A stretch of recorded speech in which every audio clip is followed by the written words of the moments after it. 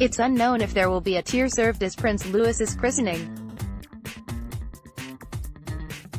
John Stillwell, Pool, Reuters The new royal couple Prince Harry.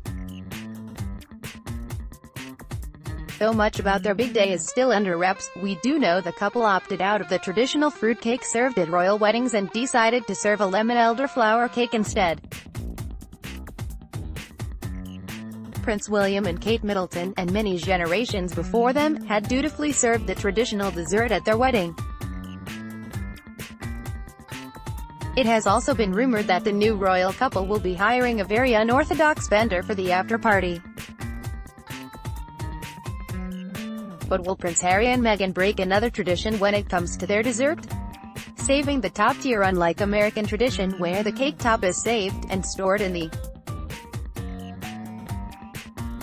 back of the freezer, to be enjoyed on the first anniversary. The British royal family has a different purpose for saving their cake, to serve at their future children's christenings.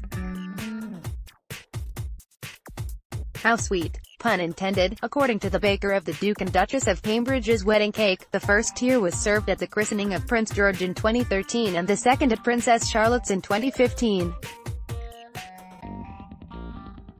It is still unknown if the third royal baby, Prince Louis, will also have a tier served at his christening. In an interview with Town,